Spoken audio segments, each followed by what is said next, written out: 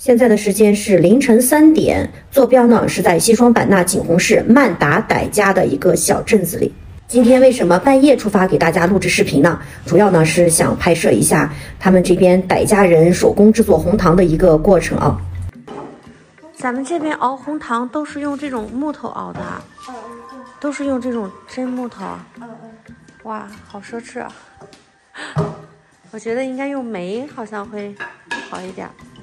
这要熬八个小时，应该会需要很多木头吧？哦，需要一大车啊！外面这一车就是今天我们要用的吗？哇，外面天还黑啊，看不到。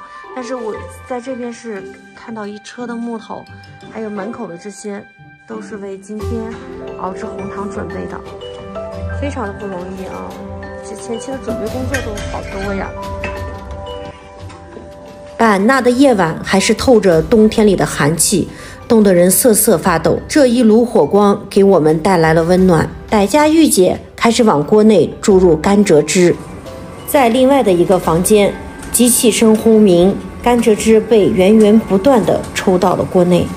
榨取甘蔗汁是唯一的一个使用机器来工作的环节。我们傣家的这个院子里啊，随处可见一捆一捆的甘蔗，非常的多啊。那现在呢，我就是站在咱们这个大机器的旁边，这个机器啊就是专门用来把咱们的甘蔗啊榨出汁儿来的。那这个环节呢，他们是采用的机器帮助榨取汁，因为用我们的人力啊真的是太费劲了。现在就是用机械来代替人力，节省了不少的力气啊，把这个大批量的甘蔗啊，我们全都给它榨成汁儿。然后再把这个甘蔗汁儿啊，通过水泵给它抽到我们加工厂里，直接用管子放到锅里就可以了。咱们接下来去看看这个锅是怎么操作的啊。这个就是刚才那个管子弄出来的这个甘蔗汁啊。哦。为什么上面会套一个袋子？哦，过滤啊。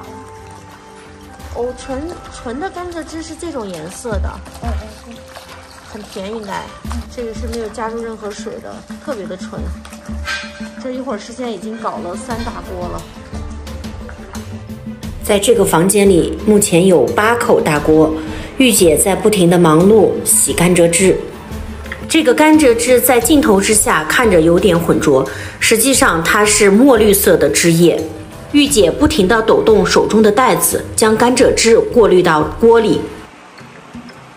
炉膛内燃烧的正旺，锅内也是一片翻腾的景象。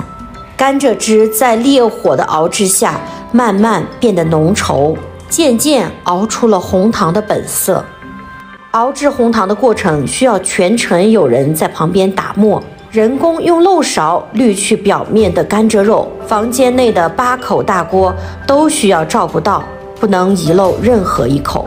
此时的炉火是关键，一定要保持大火，要往炉膛内不断的加柴，如此反复，甘蔗汁熬到一定的浓稠，便可以搅拌了。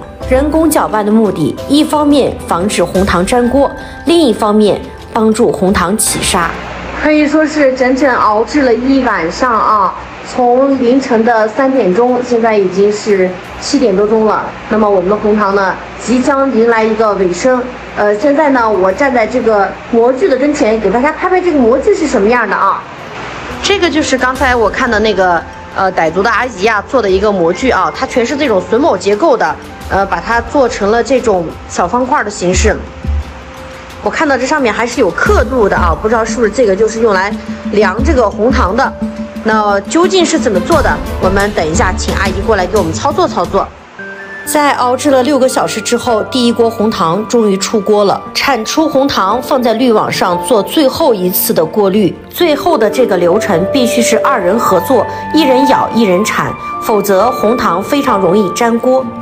舀出的红糖被推出了加工间，新熬制出来的红糖透着淡黄色的光泽，满屋都飘着甘蔗的清甜味。在红糖凝固结晶前，还要不停地搅拌，直到红糖慢慢的冷却下来，锅边已经可以看到细细的沙状。当红糖变得更加浓稠，我们就可以将它装入模具。就这样完全手工，一勺一舀将红糖全部倒入模具内。这就是新出锅的红糖啊，我们来尝一尝新出锅的红糖是什么味道的。